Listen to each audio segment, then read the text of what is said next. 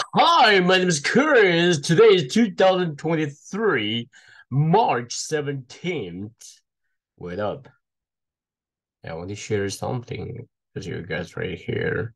Welcome to Chris English in a Minute, where I can teach you all about idioms in American English. Have you ever heard this before? I'm starving. Let's grab a bite.